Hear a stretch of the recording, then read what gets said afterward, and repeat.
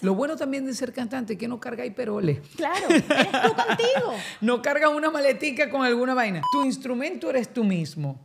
Y eso acompañado del carisma, la energía que vos le metáis, de cómo vos te sentís. La música te permite sanar, la música te permite Terapia. desconectarte para volverte a encontrar.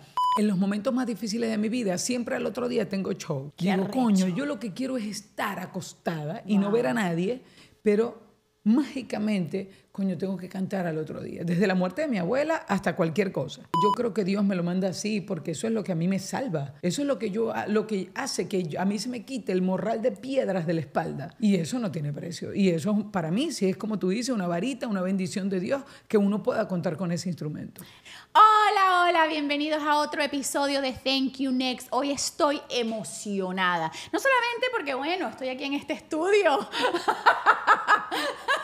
un estudio nuevo, chicas. Un estudio nuevo, una escenografía nueva, gracias a los Hispanos Unidos, que me encanta ese grupo y me encanta todo lo que hacen. Así que muchísimas gracias por eso. Pero en realidad, aquí lo que me tiene más emocionada que nunca es que estoy con una persona que cuando entra por un cuarto, conocerla de verdad es amarla, porque tiene una sonrisa que le llega como de oreja a oreja. Eso es una cosa que en lo que tú la ves, tú dices, ¡pah! Llegó la luz. Una verdadera estrella. Y no es mentira, porque esta sonrisa no tiene explicación. Hay que nada más verla. Bienvenida, mi querida Karen Martelo. ¡Mírame! ¡Ras! Coño, hablaste de, mi, so- hablaste de mi sonrisa más que de mi talento. Hay que No, felicitar al odontólogo. Mira, hablando de talento, ¿sabes Gracias, mi amor. Bienvenida, queríamos tenerte hacía muchísimo tiempo, pero bueno, tuviste la bebé y bueno, finalmente hablamos con Natalie, que fue la que hizo que todo sucediera. Es que así es Miami. A- Miami y mi cerebro. O sea que mi cerebro es un poquito disperso. Yo, yo tengo déficit de atención y, e hiperactividad. Cuando yo era niña, la gente, ah, no habían esos diagnósticos. Yo, pendejamente, ya dentro de tres años tengo 50. Y antes no habían esos diagnósticos, sino que yo era una coñita ladilla. Entonces, coño, ¿por qué se me olvidan las cosas? Memoria a corto plazo, me distraigo, voy a coger agua, pero si me pasa un perro, voy a acaricio al perro y después digo, yo no iba- ¿qué era lo que yo iba a hacer? Y así voy. Entonces, por eso también tardé tanto en venir. Porque me disperso. Te dispersa. Pero hablando, yo, mira que hemos trabajado en, en- en uno de tus shows, eh, hablando de talento, eres una mujer, o sea, desde que te conocí yo dije, Marica, esta tipa tiene una presencia, o sea, hay personas que uno conoce y tú dices, son estrellas en toda la totalidad. Porque no solamente que eres conductora, no solamente que, bueno, tu voz, o sea, en lo que tú abres esa boca y cantas, es una cosa que, bueno, después vamos a hablar de eso, porque es, es una voz que tú lo sabes, y yo sé que tú has hablado mucho de eso, es una voz única, nadie más la tiene, no se escucha en ningún lugar, e- e- eres muy tú. Pero a mí lo que más me gusta de ti, de ¿Qué? verdad, Pa' ver. de verdad, es tu energía. Ay, qué linda. Ah, bueno, así dice mi psicólogo, que yo soy energía pura y dura. Ella dice, eres pura y dura. Es clara, es una energía concisa, es una energía que, cero mamá, güey, te veo. Así mismo. No, yo toda mi vida he sido transparente, mami. Yo, yo siempre, eh, es que yo no puedo ocultar, por eso que yo no sé mentir, a mí todo se me, se me ve, porque, porque eso, ¿será que esa energía es tan transparente que la gente puede conocerme apenas me ve? Y eso me ha perseguido desde que nací, porque desde chiquita yo, yo tengo más familia que no es de mi sangre que mi propia familia de sangre. Y es por eso, porque es como una... a- Es una cosa bonita porque es una bendición que tienes como un magnetismo para la gente. Marico, porque incluso yo me he dado cuenta, hay gente que, mucha gente dice, los amigos me sobran los dedos de las manos y no sé qué. En cambio tú me a mí me faltan ve, yo cuento los dedos de los pies y necesito las manos y los pies de Jonathan, los tuyos de todo el mundo. Es increíble. No, es que de verdad, o sea, conocerte es amarte. Qué Y bella. es en serio, es genuino. ¿Sí me entiendes? Es verdad. Y tú lo sabes, ¿verdad? Eso es lo que yo quería saber. Mi primera pregunta es para ti, porque desde la humildad, a veces uno tiene esa falsa humildad en que uno dice, no, chica, ay, no. Y hay veces que tú puedes llegar a decir, por ejemplo, Oprah. Oprah es una Oprah mujer- Winfrey, Oprah claro, Winfrey. claro. Es una mujer y la veo y la estudio y la analizo y cada vez que a ella le dan un complemento o le dicen algo, ella lo acepta y lo recibe. Correcto, correcto. Nadie nació aprendido. Tú sabes que tú tienes ese, tú sabes que tú eres una estrella completa, tú lo sientes, tú te despiertas y dices, marico, yo brillo. Verga, no sé, o sea, no con esas palabras, porque realmente uno, y es feo a veces para otras personas hablar de ti. La humildad es muy bonita, la humildad, hay que ser humilde, por ejemplo, para, para reconocer los errores. hay, que, hay que ser humilde para eso, recogerse y decir, coño, fallé aquí. Pero la humildad no tiene que ver con el reconocimiento a ti mismo. El reconocimiento, ahora si vos vas a estar de choneta y de egocéntrico es otra cosa. son dos cosas diferentes y a eso quiero llegar. Exacto. Yo puedo ser humilde desde el reconocimiento que yo soy una tipa recha, que yo soy hecha pa'lante, que yo he cantado toda mi vida, a la gente le gusta, que yo estoy allí. Es porque, porque la gente ve lo que yo tengo. ¿Sabes? Porque es la gente que nos tiene aquí sentadas en este momento. Tú estás en donde tú tienes que estar yo he pensado que un tiburón, si tú lo tiras en la selva, no es el más duro del, agua, porque en la selva, él no nació para estar en la selva. O agarras un león, que es el rey de la selva, y lo pones en el mar y el tipo se hunde. Yo te veo a ti y yo digo, es que esta mujer nació para las tablas, para el escenario, para, tú llegaste aquí y empezaste a hablar con todo el mundo. Es que yo soy de la gente, mami. Yo, soy, yo toda la vida he sido de gente. Mira, cuando yo era chiquita, chiquita bebé, mi mamá estudiaba farmacia, ella es farmacéutico. Mi mamá me tuvo chiquita, ella tenía, no tenía 20 años, y mi madre eh, siguió estudiando para darle a esta bebé todo lo que se merecía. Y mi mamá me dejó con mi abuela. Bueno, mi abuela era tan, yo creo que yo heredé esa vaina de mi abuela. Mi abuela era, mi abuela, ella era bailarina y ella bailaba danza folclórica y le gustaba mucho disfrazarse en los carnavales, en la vaina. Y ella no pelaba un bonche, una vaina para ella disfrazarse y salir a joder. Y no bebía, que era lo más arrecho. Yo decía, ¿cómo, ¿cómo aguantaste tanto? Pero bueno, es otro tema. Le nacía de adentro. La caraja te llamaba y te decía, Adriana, ¿Qué vas a hacer tú el fin de semana? No, nada, señora Anita, yo voy a estar aquí en mi casa. Ah, bueno, yo voy para allá, para tu casa. Y llegaba con un bolsito, con las cositas mías de yo de dos, tres meses, y decía, mira, Adriana, aguántame aquí que ya yo vengo. ¿Viste, mija? Que yo voy a bailar para allá, para no sé dónde. Dale, pues, vos me guardás. Entonces, pasaban dos días y tú estabas en la puerta de tu casa. Coño, Anita, ¿dónde estará que no viene a buscar esta carajita? Y así yo fui, porque mi abuela me, me cuidó y me crió, pero nunca dejó de ser ella y contaba, como ella era una mujer que, que, muchísima gente la quería y la adoraba, ella aparte de eso era enfermera, trabajó no sé cuántos años, como más de 40 años, eh, como partera también, sabes que antes iban a las casas a sacar los carajitos. Entonces ella tenía mucha gente que la quería y nunca le decían que no para cuidarme. Claro. Porque... Y entonces yo estuve como que aquí, allá, entonces tengo un montón de tías, un montón, entonces, siempre he sido desde, desde que nací de mucha gente te gusta la gente y me encanta. y canaliza. Además que yo he visto o sea tú tienes la habilidad de subir la energía del cuarto of the room. O sea tú tienes la energía de subir la energía. Marica eso es un talentazo. O sea eso es un talentazo. Y yo yo digo bueno tu voz yo te veo en Parrillada Silva. increíble. esa vaina es increíble. Yo, o sea, yo te veo cuando tú sales, yo te veo la gente se vuelve loca, yo veo como tú cantas. Parece que no, tú, que no estuvieses haciendo esfuerzo. Yo siempre me he preguntado, una persona que canta, a veces yo veo a alguien cantando y lo veo como haciendo esfuerzo, y a veces veo a gente que canta y le sale un bozarrón y la vaina ah, no subo ni una gota. Bueno, depende. Hay canciones que tenéis que apretar el Anastasio, porque si no, claro, tenéis que apretarlo porque son canciones muy alta o lo que sea, pero lo normal es que yo, yo me siento muy cómoda. Lo que pasa es que estoy en, mi, en, en esa pecera, soy el tiburón de, de esa... De esa, mar. E, e, ese es mi mar, esas son mis olas. O sea, cuando yo estoy ahí cómoda, tienes tú como público esa sensación. Ver que esta cara no le cuesta. No esta le cara está ahí, una huevona pareciera que no hiciera ningún esfuerzo. Y es por cómo te sientes. Ya yo voy a cumplir seis años de residencia ahí en Da Silva. Increíble. Y no solamente ahí, sino que ellos también están en Orlando y están en Katy, Texas. Y ahora voy. El 13. se llena. Ya va, el 13, el, la inauguración de ellos no la pudieron hacer porque de verdad es, la comida es muy buena. Y bueno, se llena muy rápido, ¿no? Y no, no han podido. Pero cuando yo estuve, la el primer show que hubo en Texas, yo fui, eso fue hace par de meses y me llama el dueño y me dice, mira, este, me llama un viernes y me dice, el sábado que viene tenéis que venirte para acá. Y yo, papi, no hay tiempo para hacer publicidad. Y él me dice, ¿sabes qué me dijo? Me dijo, a mis cojones. Me dijo así, Maracucho también, me dice, a mis cojones. Y yo, bueno, dale. Me confirmado, sí, sí, sí. El lunes soltaron la publicidad. El martes a la una de la tarde no había ticket.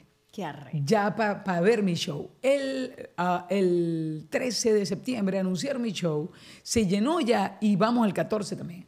Entonces, es una, es una bendición porque como yo hago lo que me gusta, Eres el pez en el agua, eres el tiburón en el agua. Exactamente, como tengo una amiga que se llama Cristi, que ella dice, amo hacer lo que amo. Entonces eso, eso la gente lo percibe y es lo que también te, te da como que esa proyección y, y, perdurar en el tiempo con tu carrera. Y en este caso, fíjate, en un mismo sitio, ¿sabéis qué ha hecho? Tener una residencia fija y que todo el mundo lo llene, todo el tiempo está lleno. Eso está lleno todo el tiempo. Exactamente, y eso es difícil con la música, es súper difícil, pero yo me siento no, muy pero contenta. eso es difícil con la vida. Mm. O sea, yo pienso que eso es muy difícil con la vida y tú eres una persona, yo que te observo y digo, ¿será que ella no tiene miedo de nada? De nada. ¿En serio? Yo nomás le tengo miedo a dos cosas, a las cucarachas voladoras y al agua fría. Esas son dos cosas que yo no puedo. Ok. De resto yo puedo hacer todo lo que vos queráis. ¿Cómo surgió eso? Porque se te nota. O sea, es algo que eso no se puede fingir. Porque ahí es donde viene el falso ego del que hablamos al principio. Ah. Porque tú puedes decir, yo no tengo miedo a nada, yo soy. Es como, ah. Pero es que tú no lo tienes que decir.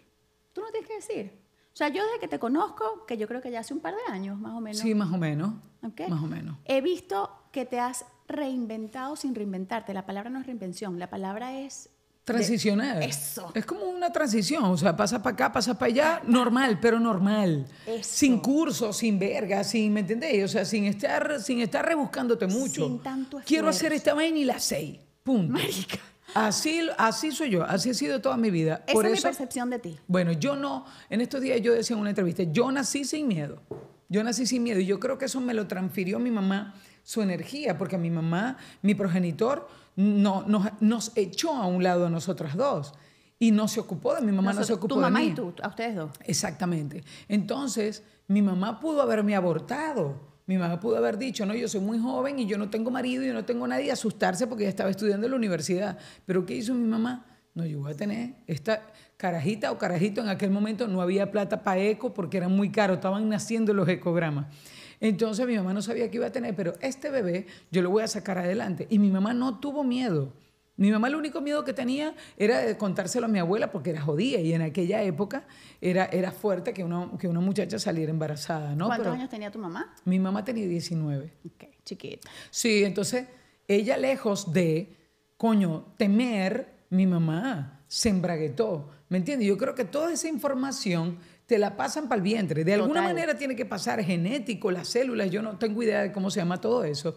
Pero ese, esa valentía de mi mamá, yo creo que yo nací con eso. Yo nací para afuera y yo vi el mundo y, y- y de pinga todo siempre. Y nunca he tenido miedo a nada, ni a comunicarme, ni a decir lo que pienso, ni a pensar como pienso, jamás. Y he tenido la fortuna de haber elegido, porque siento que uno elige a sus padres, de haber elegido unos padres maravillosos, que ellos nunca me cuartearon mi libertad de pensamiento, de accionar. Claro, si vas a cometer errores, lo que sea, ellos como pueden te meten las manos y te dan las herramientas, pero siempre fui libre de decidir. Por eso nunca estaba en el closet, por eso me tatué, por eso soy músico, por eso tengo tres hijos, por fertilización in vitro. O sea, yo nunca he visto el mundo como, como una vaina difícil y problemática y cómo voy a hacer esta verga. Yo siempre le doy para adelante ya. Me encanta eso.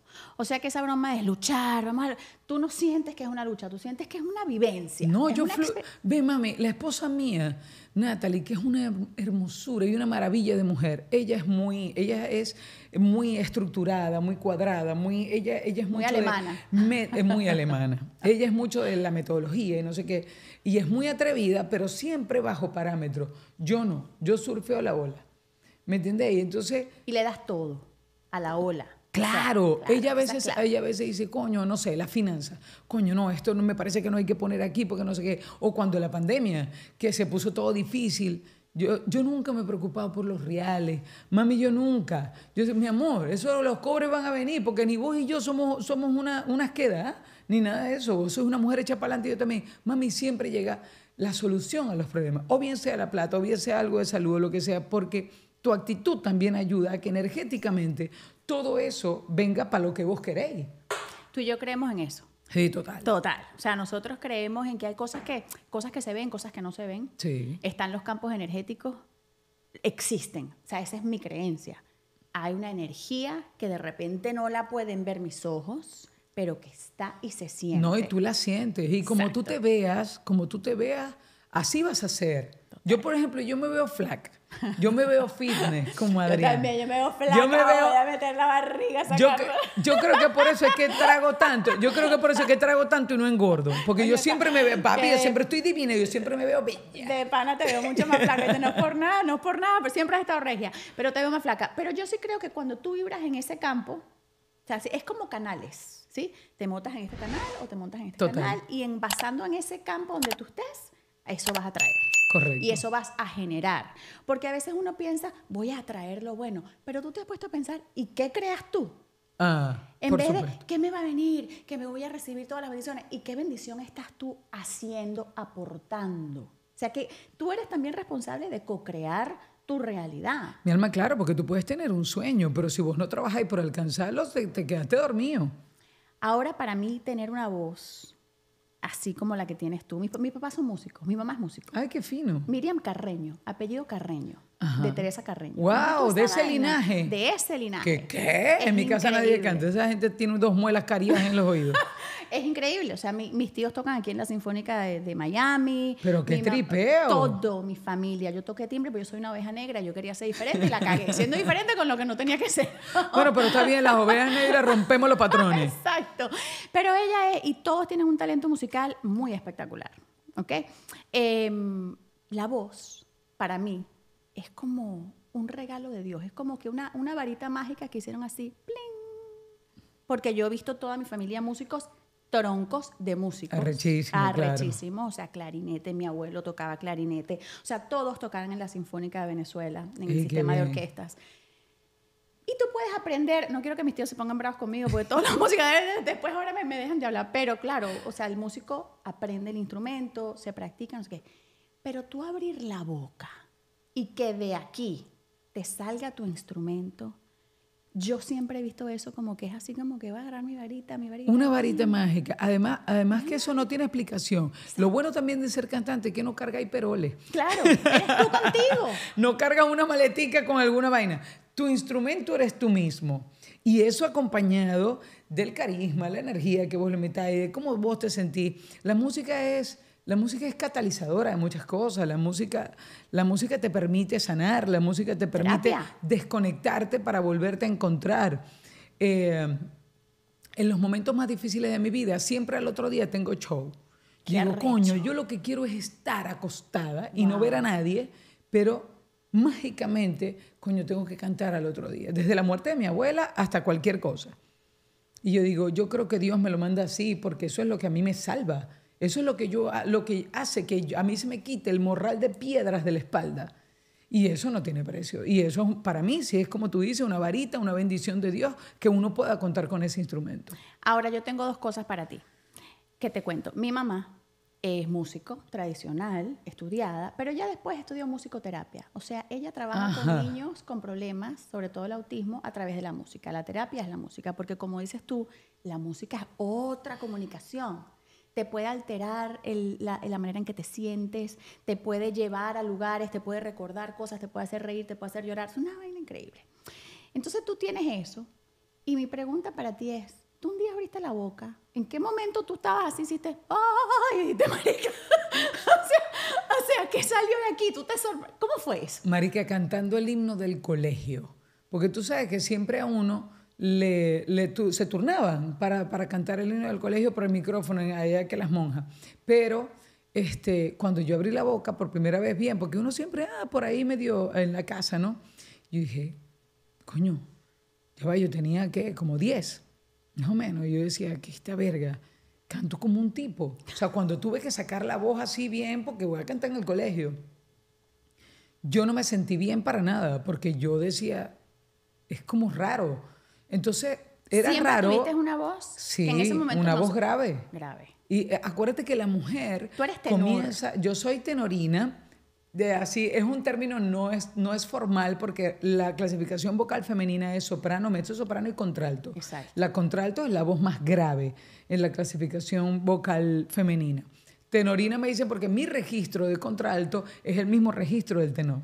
Es decir, yo no subo tantas notas tan agudas como la contralto, pero sí bajo a los graves del tenor. Entonces es, es como una cosa, es aún más bendito. Wow, exacto. Entonces, este, en ese momento yo no me gustó la vaina, me sentí súper mal, pero no me gustó como que- porque fue como un impacto frente a la gente, pero yo sabía que a mí me encantaba la música y me escuchaba y me escuchaba. Un día fui al Parque Ayacucho de Cumaná, porque mi abuela vivía allá, fui de vacaciones y canté y me puse a cantar con mis primos y mis hermanos y eso. Ellos eran al público y yo era la que cantaba.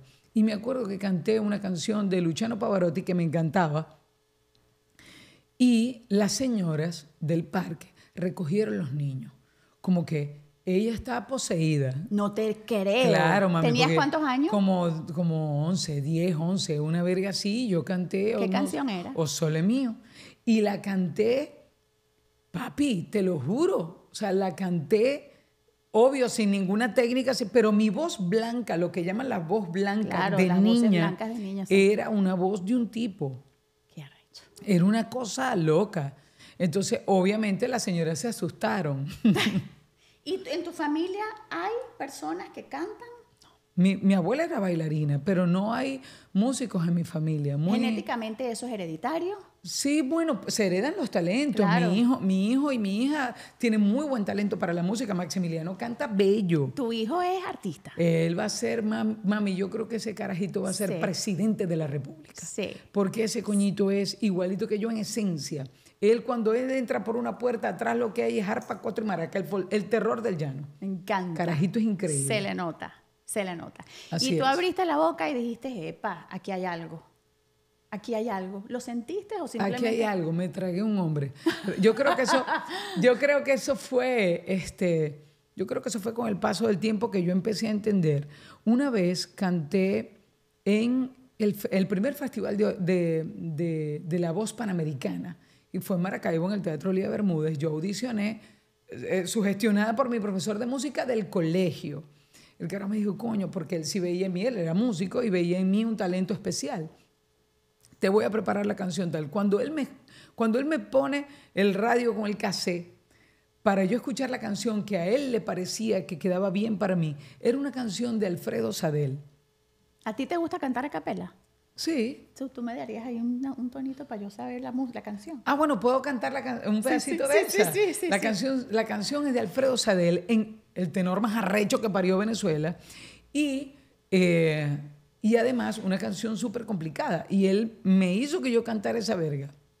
Voy aquí. ¡Esa! Me voy a echar un poquito para atrás, Dale, señor director. Cantar pa un acorde llanero acompaña mi voz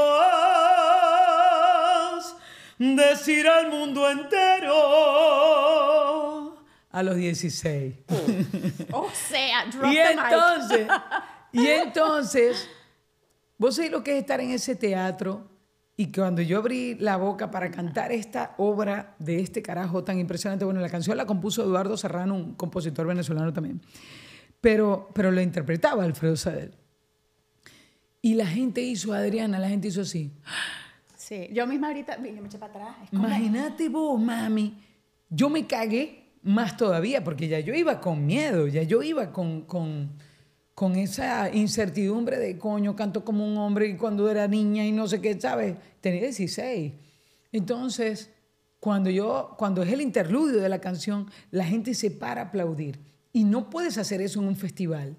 ¿Me entiendes? Eso no, en los festivales no se aplaude, no sé nada. Terminó la pieza, como le llamaban, y la gente aplaude, pero en el medio no porque hay un jurado. Claro. Eso, eh, hay un montón de cosas que se están evaluando allí, entonces no se puede, incluso tú misma cuando terminas de cantar, no te puedes pegar ahí arriba, ni arriba las manos, ni canten ustedes, nada, porque es una evaluación Exacto. lo que te están haciendo.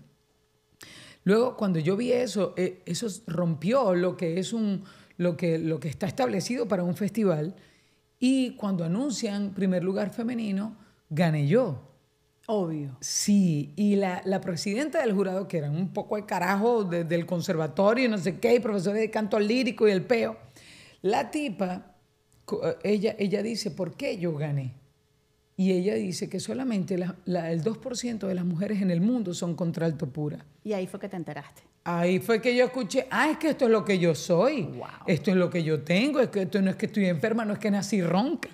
Exacto, es que pertenezco al 2%. Claro, entonces ahí la caraja después se me acerca a mí, le, se me, le acerca a mis papás y le dice, coño, esta caraja tiene esto, pues, pues, no desaprovechen si les gusta, métanla aquí, métanla allá. Cuando salgo de bachillerato, entré en el conservatorio a estudiar canto lírico con ella. Ella era la maestra de canto, de canto del Conservatorio de Música José Luis Paz de Maracaibo. Y ahí arrancó pues esta, estas ganas mías de, de, de, cantar. A mí, me- a mí me encanta el canto lírico, pero más me gusta el canto popular, que es lo que hago. Y Salsa, tienes merengue, la verga, tal, porque me permite ser yo. El Y canto lírico, soy muy tiesa. Y conectas, que es lo que más te gusta a ti, conectar con la Claro, el canto, el canto lírico es espectacular. Yo, yo, canta, yo canté una vez un recital lírico, porque ajá, tengo la técnica. Canté una vez una canción, un aria que se llama I Pagliacci. No, eh, la ópera se llama I Pagliacci o el, paya- o, el payaso en, en italiano.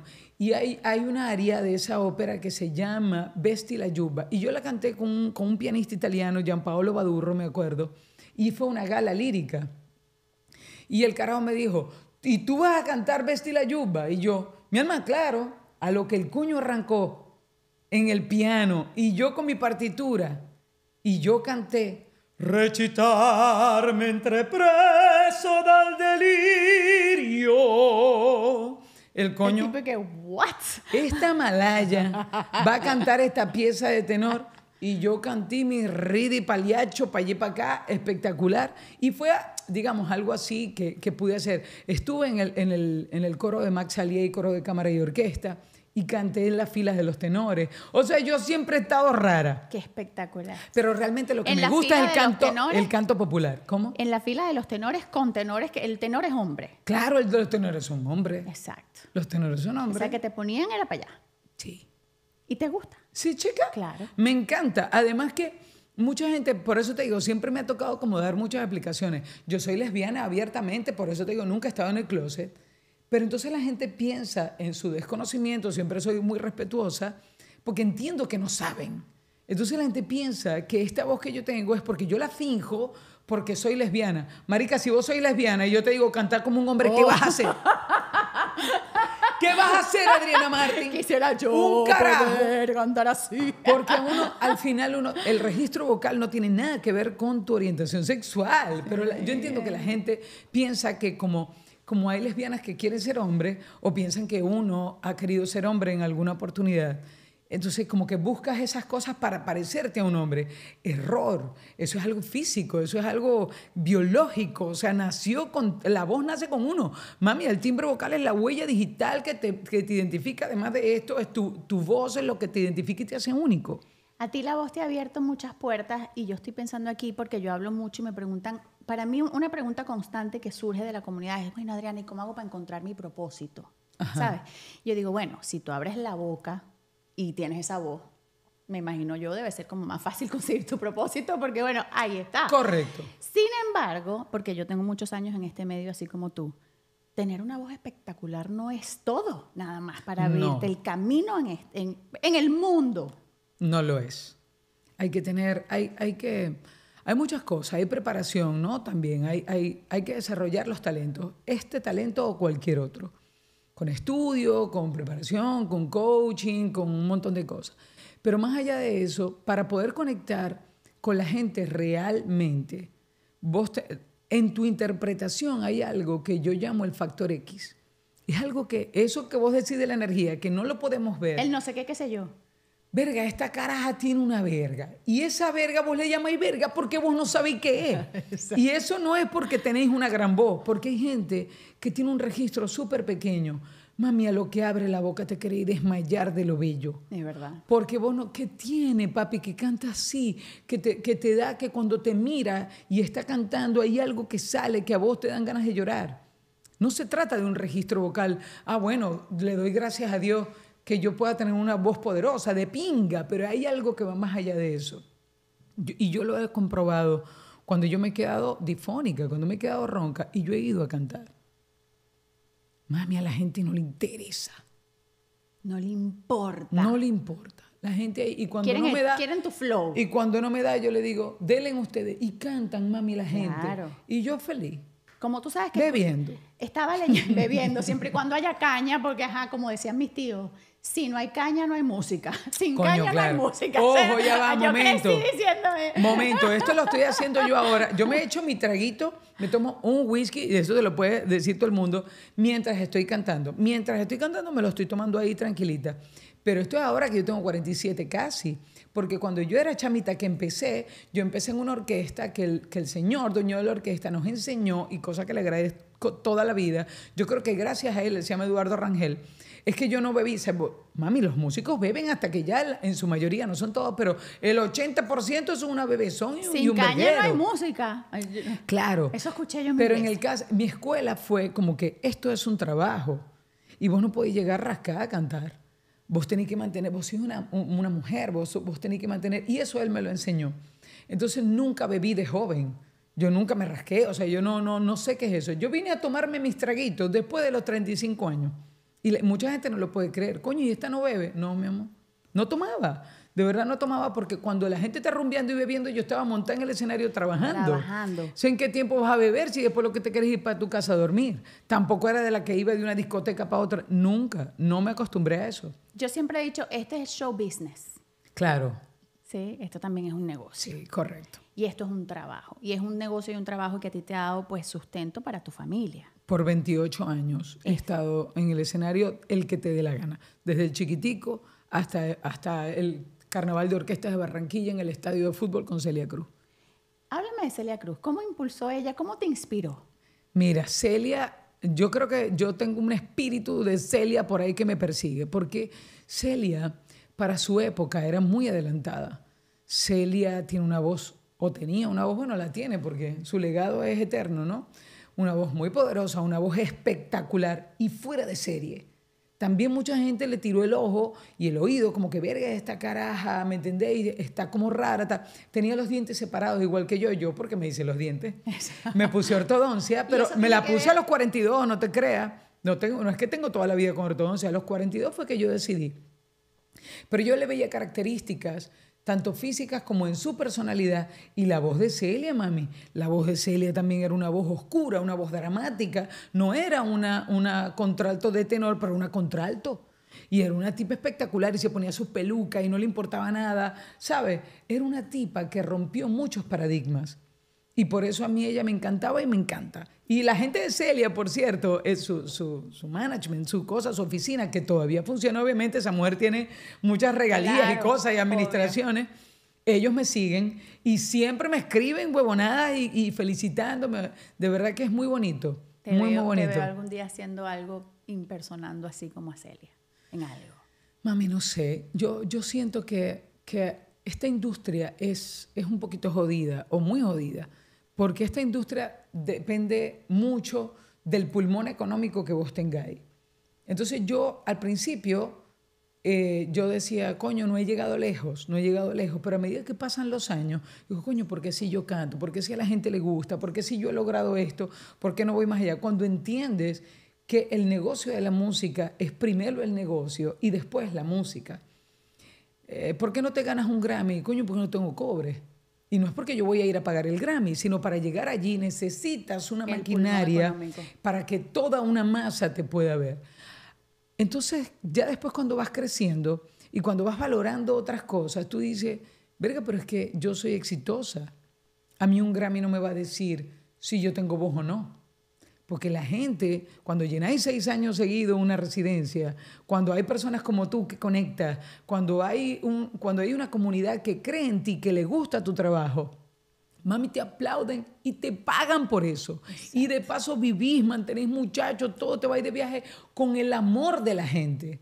Porque si, ella, si esa gente no paga para verme a mí, yo tengo que hacer otra cosa. Verga, loco. O sea, es que es difícil llegar a un país y tener que trabajar y hacer lo que no te gusta para vivir. Somos bendecidos de hacer lo que nos gusta y podemos vivir de eso y podemos vivir bien, Adriana.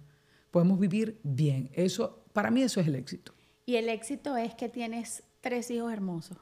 Mi alma, claro, que se los debo a la música. Que es exacto, ¿verdad? Y, Sí. yo, y yo veo tu familia y mm, Aileen me está diciendo que tengo que... Aileen, ¿qué pasa? Aileen, ¿cuándo vas a salir una vez aquí por lo Te menos traigo un café. Que te vean la cara. ¿Cuándo vas a salir en el podcast? Falta poquito, quédate quieta. Falta poquito. Ya pronto. Eh, la- te amo, Eileen. O sea, ella, ella es mi, mi, Mami, mi dupla de... esa es la ninoca mía. Eh, Aileen Abella. Aileen Abella, tu ninosca. Mi Total, nino- mi- total. Mi, tu ninosca es mi Aileen. Correcto.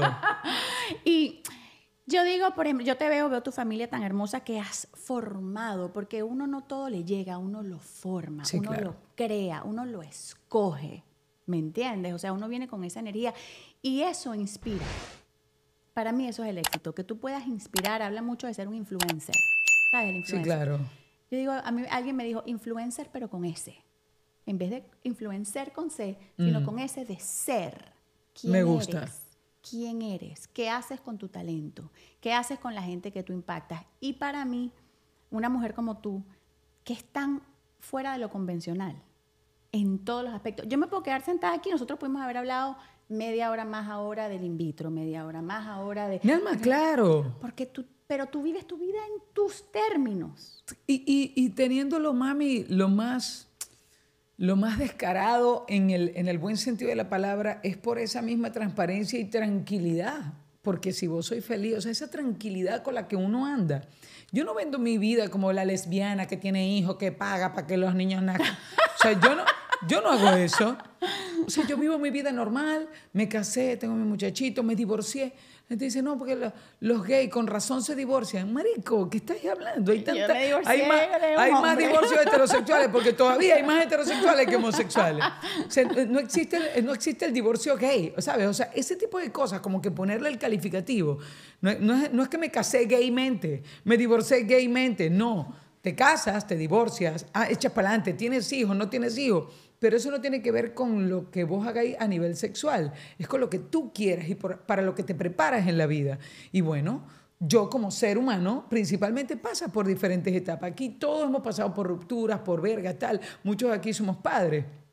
Entonces eso de ponerle que el matrimonio gay, el divorcio gay, no, pana, vivan su vida tranquilo. No, que soy una mamá lesbiana porque mire mi hija, producto de la lesbianidad. ¿Qué es eso? Marico, ¿qué es eso? Este es mi hijo y punto, este es mi hijo y punto. Y, y vivir una vida normal, tu familia es normal. Entonces en esa misma medida en que vos no estáis dando tantas explicaciones, comienza la verdadera inclusión. Cuando dejen de hablar de eso como algo... ah. Sí. Actúen normal si quieren que los traten normal. Punto. Pero tú sabes también qué pasa, que más allá de todo ese, de todos esos estigmas, es la valentía que tú transmites. Porque pudo haber sido eh, un divorcio heterosexual, un divorcio. Es la valentía con que lo haces. Porque hay muchas personas que quisieran atreverse a hacer cualquier cosa, a tirarse en paracaídas, a dejar el trabajo, a dejar el marido, a, a casarse de nuevo. Y simplemente es esas, esas ganas de, de- de pertenecer a una falsa perfección. Claro, claro. Mami, la vida es ahorita. Exacto. La vida es ahora mismo. Y ya. Yo no, yo, yo creo en que yo, yo estoy repitiendo esta vida, yo respeto al que no lo cree, pero yo creo que yo estoy aquí es porque cometí vainas en, en vidas pasadas y me trajeron para acá. Entonces, si esta es la que tengo y es la que voy a recordar, Marico, voy a hacer lo que yo quiera. Me encanta. Voy a hacer lo que yo quiera, voy a hacer lo que me haga feliz, porque esta es la que tengo, no tengo otra. Me encanta. Y como la que tengo, tengo que cuidarla, tengo que ser feliz, tengo que hacer el amor, tengo que tener muchachos, tengo que volverme loca, tengo que volver a venir, tengo que viajar, tengo que deprimirme, tengo que hacer todo lo que una vida, esta, la que tengo, me lo permita.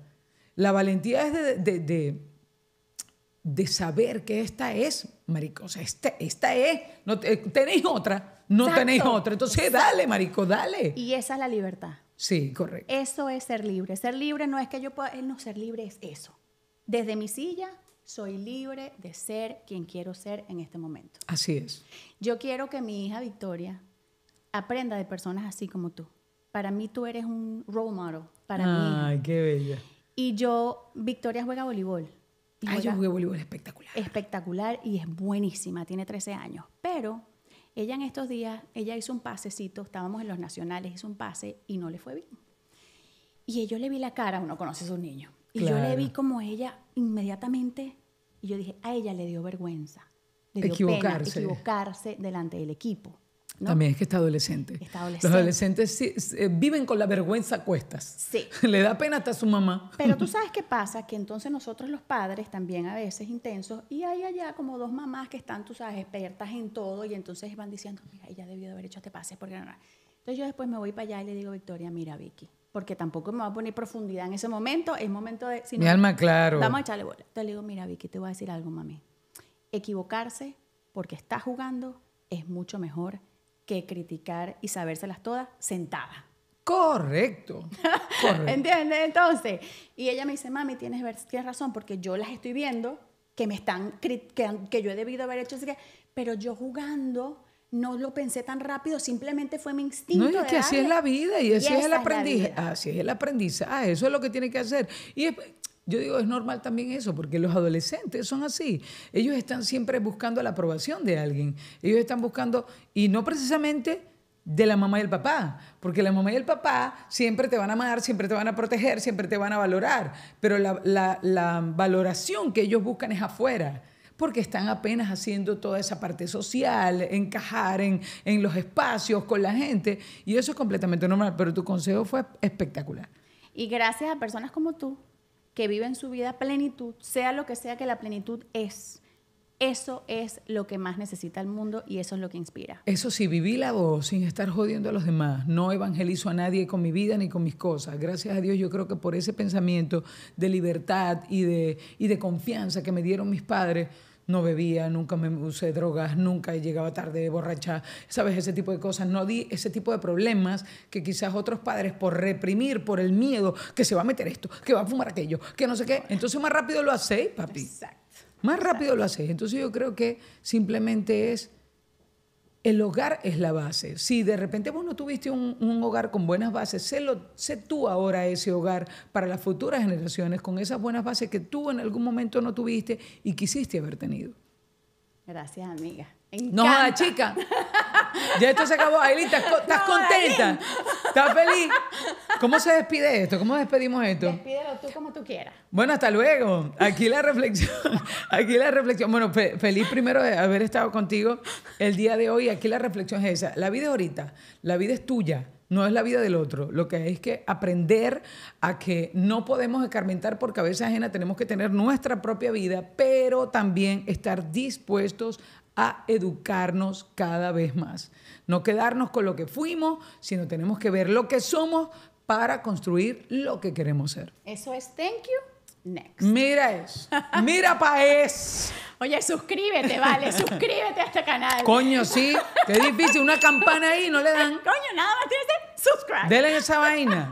Fastidioso. Te amo, marica, gracias.